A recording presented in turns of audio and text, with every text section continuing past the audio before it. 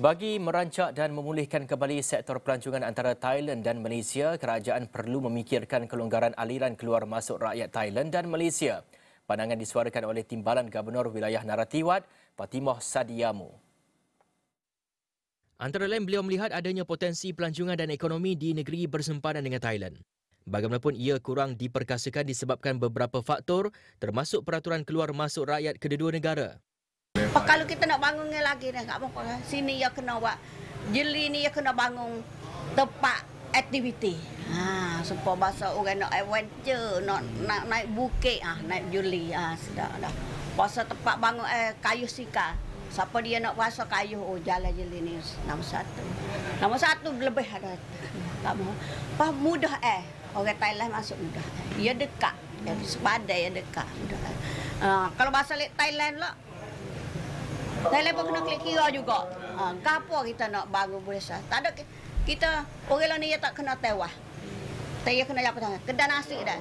Buka supa pun boleh. Tak kita bakat sokol ni tali. Supa ke?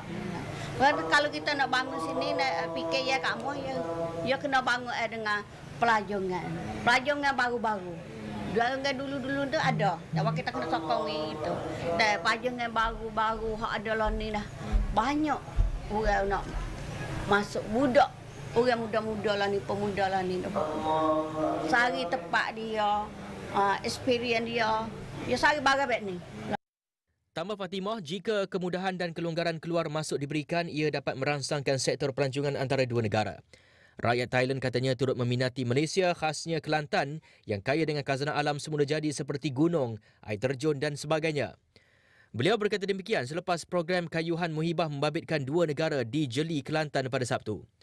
Program Kayuhan Muhibah itu disertai lebih 1,500 peserta dari Thailand yang memulakan kayuhan dari Sungai Golok Naratiwat ke Jeli, Kelantan sejauh 48 km. Program bermatlamat meningkatkan hubungan dua hala kedua-dua negara selain memperkenalkan Jeli sebagai destinasi pelancongan eko-pelancongan. Fatimah mengetuai kayuhan muhibah yang disertai kaki tangan kerajaan Thailand, agensi pelancongan dan rakyat Thailand dari wilayah selatan dan Bangkok. Manakala peserta dari Malaysia diwakili Setiausaha Politik Menteri di Jabatan Perdana Menteri Ekonomi, Zahari Kecik, Pengarah Motek Kelantan Muhammad Aidil Afizi Daud, kaki tangan awam dan pihak berkuasa negeri dan persekutuan. Kayuhan Muhibah merupakan program julung kali diadakan membabitkan jumlah penyertaan tertinggi dan diadakan membabitkan dua negara. Sementara itu, Fatimah menjelaskan Bukit Bunga Buketa dilihat berpotensi dibangunkan sebagai pintu masuk pelancongan kedua selepas Sungai Golok.